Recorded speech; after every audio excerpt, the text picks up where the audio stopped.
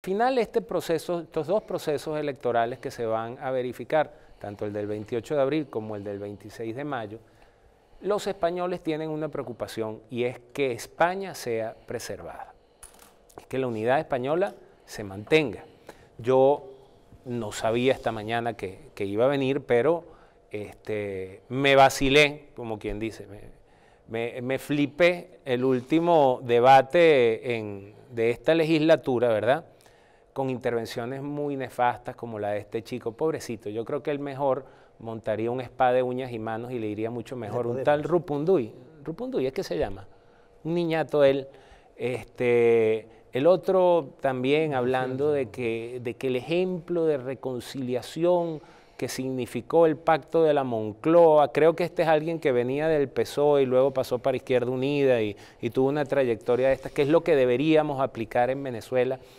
Yo me queda claro después de algo más de una semana aquí viendo noticiero todos los días, viendo que en España sí se cree en eso que el señor Antonio Sola quiere matar, que son las ideologías. O sea, y, lo dice Giovanni Sartori, esto no es un capricho mío, todos tenemos unas creencias.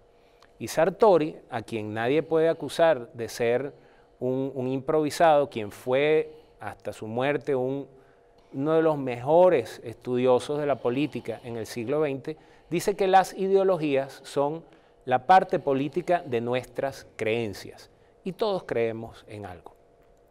Eso va a ser determinante en las próximas elecciones españolas. Quienes logren rescatar las banderas y quienes logren interpretar mejor qué es lo que quieren los españoles, e insisto, mi percepción es que los españoles quieren que España siga siendo lo que es